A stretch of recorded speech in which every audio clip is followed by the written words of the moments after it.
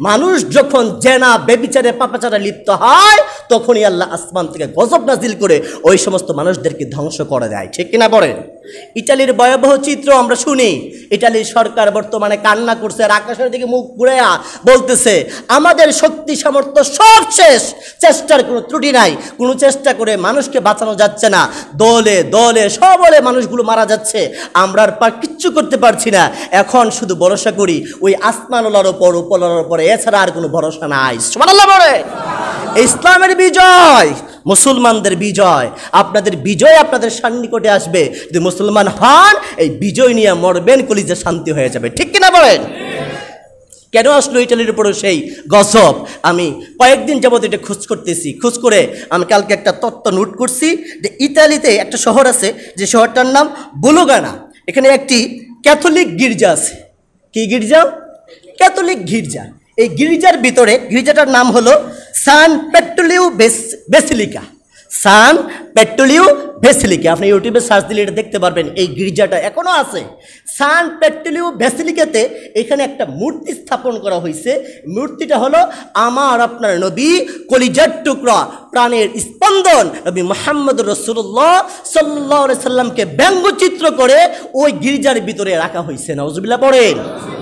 ওই গির্জার ভিতরে ব্যঙ্গচিত্র রসুলকে মূর্তি বানায় রাইখা, মূর্তির নিচে দিয়ে নরকের আগুন দিছে ফেরেস নরকের ফেরেস্তা বানাইছে ফেরেস্তারা মোহাম্মদ সাল্লাহ সাল্লামের উপরে গুর্জ দিয়ে আঘাত করতেছে, নিচে তারা তাদের এই ইটালিয়ান ভাষাতে লিখে রাখছে, মোহাম্মদকে জাহান্নামের ফেরেস্তারা গ্রেফতার করে, জাহান্নামের ফেরেস্তা তাকে শাস্তি দিচ্ছে। না নজবিল্লা পড়েন। যেই জায়গায় আমাদের নবী মোহাম্মদ রসুল্লাহ কলিজার টুকরো প্রাণের স্পন্দনকে বেইজ্জতি করবে, আল্লাহর সারে তা বরদাস্ত করে নাই এই জন্য আমার মনে হয়, আমি মনে করি, এই ইটালির উপরে আল্লাহর লালত এবং গজব বর্ষণ হচ্ছে। ঠিক না বলেন? পৃথিবীর কোনো মানুষ, কোনো চিকিৎসা, কোনো পদ্ধতি, কোনো সতর্কতা, কোনো সচেতনতা তাদেরকে বাঁচাতে পারবে না। ঠিক কিনা বলেন? গজব আসবেই তোমাদের উপরে। এই ইটালির মানুষগুলা জানোয়ারের মতো, তাদের যখন ছুটির দিনগুলো হয়, বন্ধের দিনগুলো হয়। শুক্রবারে আমাদের বন্ধের দিনে আমরা যেরকম একটু আনন্দ উল্লাস করি, ছুটিতে বন্ধু বান্ধবের বাড়িতে যায়, তারা আনন্দ উল্লাস করার জন্য পার্কে পার্কে যায়। পার্কে পার্কে তাদের জেনা বেবিচারে এমন কুকর্ম, কুকুর, জানোয়ার যা করে না, তারা এরকমভাবে পাপাচারে লিপ্ত হয়। ঠিক কিনা বলেন? আর মুসলমান ঘরের সন্তানগুলা, তাদের এই পাপাচারের দৃশ্যগুলা এই ইউটিউবে, এই মোবাইলে, এই টেলিভিশনে, ইন্টারনেটে ডিজিটাল লাইনে বসে বসে তাদের দৃশ্য, নাচ, গান, মদ জুয়া যারা দেখতেছ খুদার কসম, তাদের সাথে সম্পর্ক ছিন্ন না করলে গজব তোমাকে ধরবে তোমাকে ওকে বাঁচাতে পারবে না। ঠিক কিনা বলেন?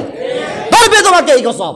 তারা, যারা আমাদের পরিযায় টুকরা প্রাণের স্পন্দনকে ভেজুতি করতে চায়, অপমানিত করতে চায়, আসমান থেকে তাদের জন্য গজব বাজার হয়েছে তুমি তাদের সাথে সম্পর্ক ছিন্ন করা লাগবে তোমাকে তোমাকেও কেউ বাঁচাতে পারবে না। ঠিক কিনা বলেন? সম্পর্ক ছিন্ন করে।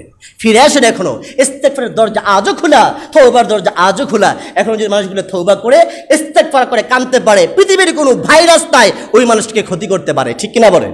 আমার কলিজে একটা সাহস আছে। আমার মনে হয় করোনা ভাইরাস আমাকে ধরবে না। আল্লাহ মাফ করুক।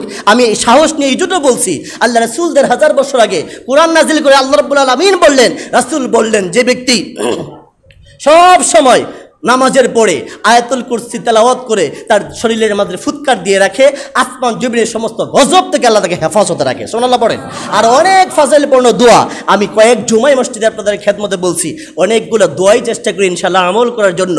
আমার দৃঢ় বিশ্বাস, কোরআন যদি সত্য হয়, রাসুলের হাতে সত্য হয়, করোনা ভাইরাস কেন? এর যে ভয়াবহ ভাইরাসও কোনো মুসলমানের গায়ে টাচ করতে পারবে না পারবে না পারবে না ইনশাআল্লাহ। ঠিক কিনা